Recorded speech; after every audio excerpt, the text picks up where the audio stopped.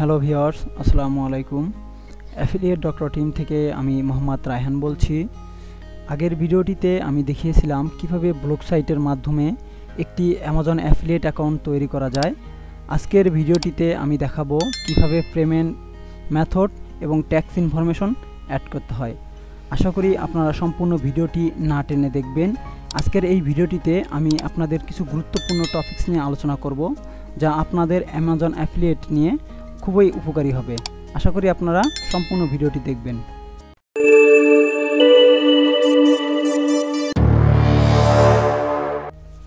আপনারা অনেকে হয়তো জানেন না কীভাবে একটি ব্লগ সাইট ক্রিয়েট করতে হয়, কাস্টমাইজ করতে হয়, আদার যে অপশনগুলো আছে।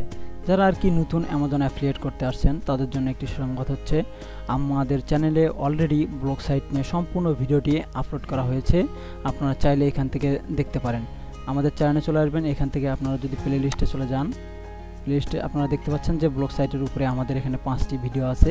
আপনারা যদি আমাদের এই পাঁচটি ভিডিও দেখেন সম্পূর্ণ করে, তাহলে আপনি সম্পূর্ণ একটি ব্লগ সাইটকে দেখতে পারবেন যে কীভাবে ব্লগ সাইট কাস্টমাইজ করতে হয় এবং আদার যে অপশনগুলো আছে, আপনি সম্পূর্ণ এখান থেকে দেখে শিখতে পারবেন।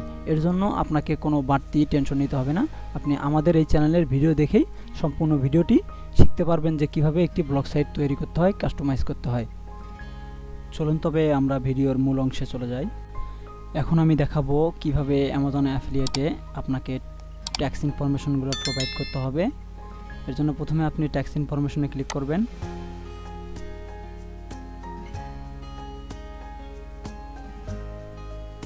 এরপরে আপনাকে এখানে ইন্ডিভিজুয়াল থাকতে হবে। এরপরে আপনি নো দিয়ে দিবেন। এরপরে আবার আপনি নো দিয়ে দিবেন। তারপরে এখানে আপনার ফুল যে নেমটা আছে ফুল নেমটা দিয়ে দিবেন। আমার নাম রায়হান।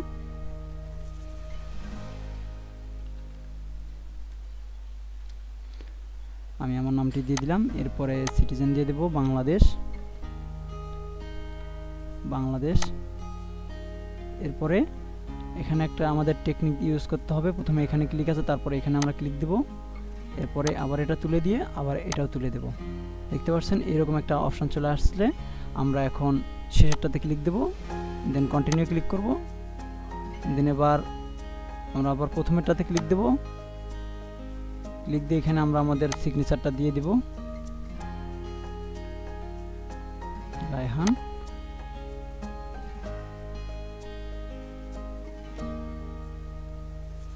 দেন আপনারা দেখতে পাচ্ছেন, এরপরে আমি সেভেন প্রিভিউ ক্লিক করব।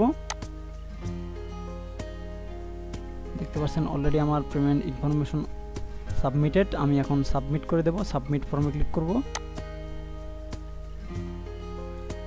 এরপরে আমি এখান থেকে এটা আমার যে ট্যাক্স ইনফরমেশন আছে সেটা আমি ডাউনলোড করে নিব। আমার ট্যাক্স ইনফরমেশন ডাউনলোড হচ্ছে। আমি এখন এক্সিট অ্যান্ড ইন্টারভিউতে ক্লিক করব। এখানে আপনি দেখতে পাচ্ছেন যে আমার ট্যাক্স ইনফরমেশন অলরেডি অ্যাপ্রুভ করে দিয়েছে, যার কারণে আমার এটা নোটিফিকেশনটা চলে গেছে। এরপর আমরা পেমেন্ট ইনফরমেশনটাকে অ্যাড করব। আপনারা যদি পেমেন্ট ইনফরমেশন অ্যাড করতে চান, এর জন্য আপনাকে প্রথমে পেমেন্ট ইনফরমেশনে ক্লিক করতে হবে। এরপর চেঞ্জ মাই পেমেন্ট মেথডে ক্লিক করব।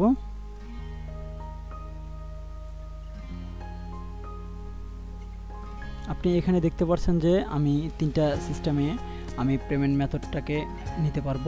একটা হচ্ছে ডিরো ডিরেক্ট ডিপোজিটে তারপরে অ্যামাজন গিফট কার্ড এবং চেকে নিতে পারব।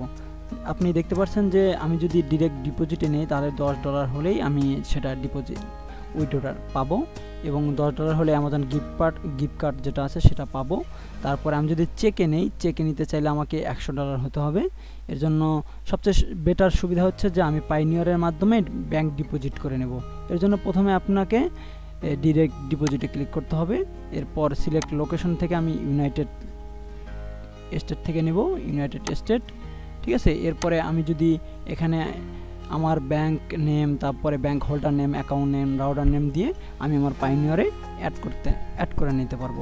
এর জন্য প্রথমে আপনাকে পাইনিয়রে লগ করতে হবে। আমি আমার অলরেডি পাইনিয়রে লগ করা আছে।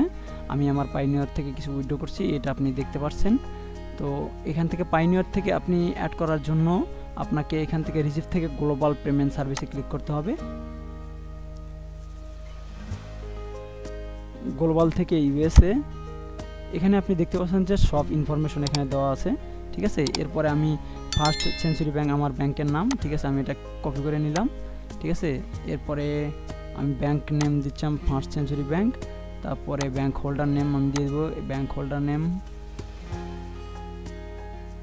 bank holder name copy করলাম, তারপরে ব্যাংক হোল্ডার নেম দিয়ে দিলাম, তারপরে অ্যাকাউন্ট নাম্বারটাকে আমি কপি করে নিয়ে আসলাম। Account number account number, account type হবে চেকিং আবার কনফার্ম অ্যাকাউন্ট নাম্বারটা আমি এখানে পেস্ট করে দিয়ে দিলাম। এরপরে রাউডিং নাম্বার যে থাকে, আমি এই যে রাউডিং নাম্বারটা কপি করলাম রাউডিং নাম্বার। এরপরে আমি এখানে যদি সাবমিট করে দেই সাবমিট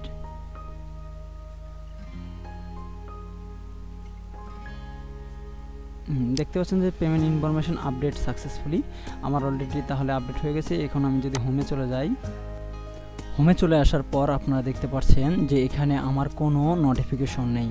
এখানে আমাকে ট্যাক্স ইনফরমেশন এবং পেমেন্ট ইনফরমেশনের জন্য যে নোটিফিকেশনগুলো ছিল, সেই নোটিফিকেশনগুলো এখন এখানে নেই। তার মানে হচ্ছে যে আমি সাকসেসফুলিভাবে পেমেন্ট ইনফরমেশন এবং ট্যাক্স ইনফরমেশন তাদের প্রোভাইড করেছি। তার জন্য তারা আমাকে, আমার এই ইনফরমেশনগুলো তারা এখান থেকে নোটিফিকেশনগুলো তুলে নিয়েছে। তো আপনারা অবশ্যই দেখলেন যে খুব সহজেই কীভাবে পেমেন্ট ইনফরমেশন এবং ট্যাক্স ইনফরমেশনকে অ্যাড করতে হয়। আপনারা সবাই অবগত আছেন যে অ্যামাজন থেকে সারা জীবনের জন্য একটা প্যাসিভ ইনকাম করা সম্ভব। আজকের ভিডিওটিতে আমি দেখালাম যে কীভাবে ট্যাক্স ইনফরমেশন এবং পেমেন্ট মেথড অ্যাড করতে হয়। আগামী ভিডিওতে আমি দেখাবো অ্যামাজন থেকে কীভাবে লিঙ্ক নিয়ে মার্কেটিং করা যায়। তো সে পর্যন্ত সবাই সুস্থ থাকবেন, ভালো থাকবেন, খোদা হাফেজ, আর সবাই আমাদের চ্যানেলটিকে সাবস্ক্রাইব করবেন।